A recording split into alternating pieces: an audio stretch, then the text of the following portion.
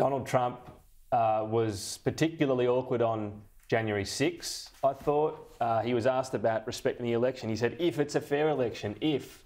I mean, as Simon said, Victoria, that would have been a standout moment, if not for Joe Biden. On Putin as well, he had some awkward moments, but none of this is going to matter. What, what do you think on the genuine possibility? And I know, unprecedented, yes, we're saying that again, but can't someone say to Joe Biden, the best thing you can do, the last time the best thing you could do from a Democratic point of view was come in and knock off Donald Trump. The best thing you can do now is stand aside so someone else can. Yeah, I, I, think that's been a talking point since the primary season. We had a primary season for the Democrats, and there were opportunities for alternatives to come forward and to say to Joe Biden, please stand aside. Someone else might have a better chance of winning the election. But he won the primaries. That process has happened. Uh, he is set to be confirmed in August. Uh, and, you know, part of these conversations this debate was so early and it was desired, uh, designed to, I guess, create enthusiasm around these supporters, and that sort of backfired. And it happened before the convention. So these two candidates aren't actually officially the candidates yet. So I suppose anything could happen. But Donald Trump hasn't changed. Donald Trump is still Donald mm-hmm. Trump. I don't know how um, commentators are coming out saying, oh, like, but Trump lied the whole time. I think that's been a talking point since the beginning. And the best thing Biden could have done is just kind of let Trump be Trump. Uh, and that was kind of the strategy going into this. But unfortunately for mm. Joe Biden, he couldn't kind of close on those key ar- arguments to show that he is a more viable alternative.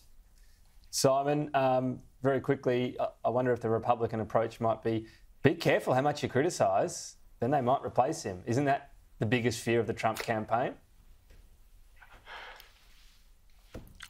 I don't know that that it, I just think that would be great from a from a Republican perspective. Would show how panicked they are. And by the way, it's that would be a mm. bloodbath inside the Democratic Party, right? And and so if you're if you're if you're Donald Trump, this idea that this is the conversation.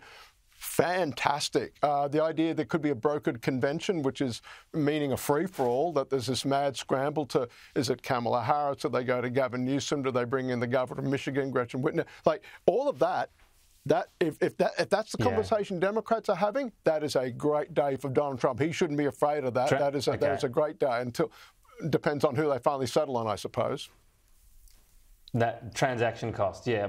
I guess that's the flip side, though. I mean, can you just transform the contest? It'd be very different, wouldn't it, Victoria? Suddenly a new opponent. Um, these debates would look very different. Yeah, absolutely. I think something that I was thinking before this debate was it's kind of been boring so far. You know, it's 2020 again, it's Trump versus Biden. The primaries were over so quickly, and part of this debate was designed to create a bit more interest, uh, create uh, Americans looking at this election. And I think they're definitely looking now. It would mm. certainly add some colour, but as Simon says, I think it would also add some chaos. It would. It would. Look, um, I think you make a good point on on uh, transaction costs, Simon. I still think uh, it's better than cruising to, to a loss, but there's my hot take. I'll end on that, Simon. Always good to get your thoughts, Victoria. Thank you for joining us today. I'm sure we'll uh, have plenty more to say in the lead up to a significant election again in the US.